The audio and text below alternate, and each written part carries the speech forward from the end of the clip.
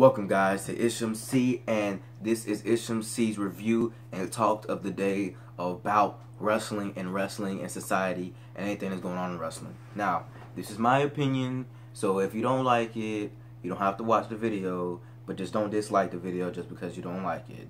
I don't understand people like disliking videos just because they don't like it. If you don't like it, just don't watch it. You know what I'm saying? But guys, this is my opinion. My opinion is it's the same as the title. Will Roman Wayne Will Roman Reigns win at WrestleMania 32?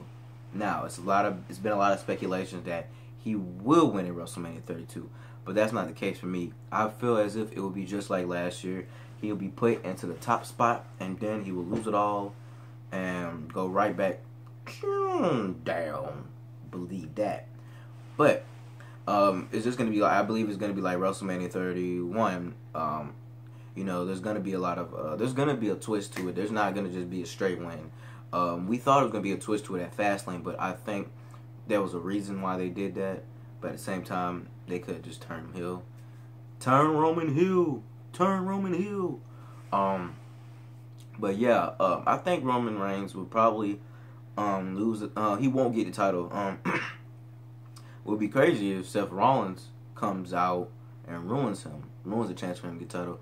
But I believe, uh, I think Dean might get involved into the match at WrestleMania. It could be, um, someone can get him. Someone's gonna get involved because I don't feel as if Roman Reigns will walk out with the championship. There's there's no way in hell you can walk out with the championship and get booed so loud as you did before.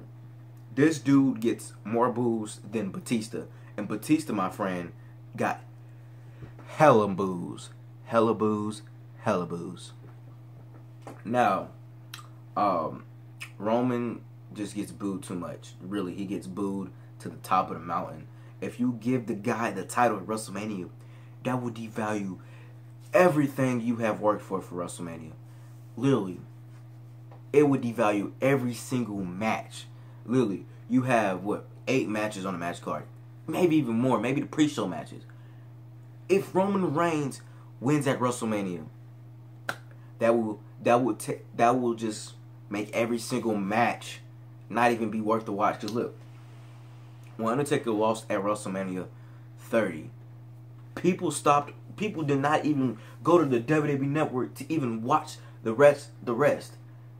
I know a lot of people that didn't even get the chance chance to watch Daniel Bryan win the WWE title because they were pissed at WWE for making Undertaker lose. Now, in my opinion, yeah, I didn't even watch WrestleMania 30 um, on the network after. I watched the whole I watched the whole pay per view, but I didn't watch.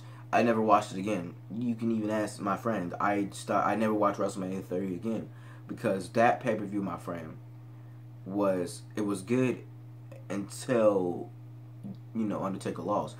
But we're not talking about Undertaker. We're just making a point. If you give Roman, if you give Roman Reigns the title, it will not. It will lead to so many, so much controversy, controversy that you know, it was just like, I don't think he should get the title. The dude, dude doesn't have proper a proper gimmick, doesn't have a good promo, uh, ways of doing his promo.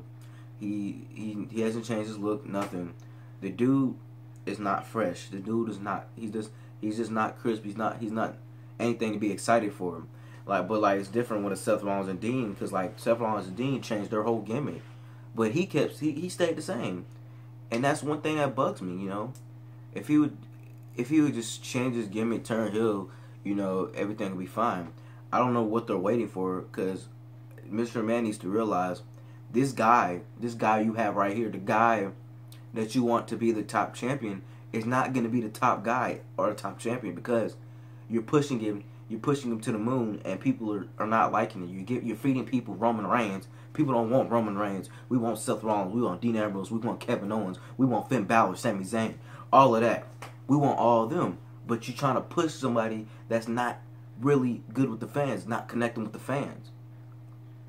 This guy right here, Roman Reigns, should be a mid carder. I love Roman Reigns to death. I love what he's doing with the company, but it's not progressing. You know what I'm saying? And for Shane McMahon to actually come out and say that he wants to be the runner of uh, Raw, that makes me uh, feel a lot better because he could probably change things with Roman. If Mr. McMahon would just get his head out his you know what? Then it'll be fine.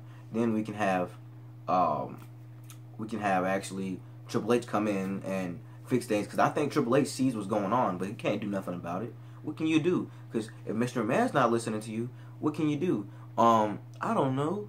Wait till he um retires, I guess, and we'll be after that. But guys, tell me what you think about this. Do you think Roman Reigns should get the title at WrestleMania 32, or do you think Roman should just uh not get the title? Do you think it's gonna be a twist? Do you think? Just tell me what you think. I want to hear what you think about this because I, I, might do another react, react video about it. Well, I say reaction, but I was about to do another video about it because I want to get you guys' opinion. But guys, leave a like, comment, subscribe. HMC is out. Hope you guys enjoy. Peace.